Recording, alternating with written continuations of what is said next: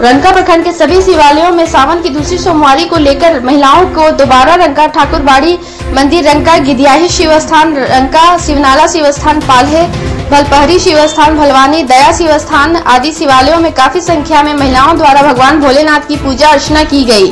इस मौके पर गोता टोला भुलवानी की महिलाओं ने बताया कि अपने गाँव को लोगों को सुख संपन्न रहे। इसी को लेकर भलपहरी पहाड़ के शिव स्थान पर भगवान भोलेनाथ की पूजा अर्चना की गई। पलामू और लातेहार जिला की ताज़ा तरीन खबरों के लिए सब्सक्राइब बटन पर क्लिक करें और बेल आइकन को दबाएँ।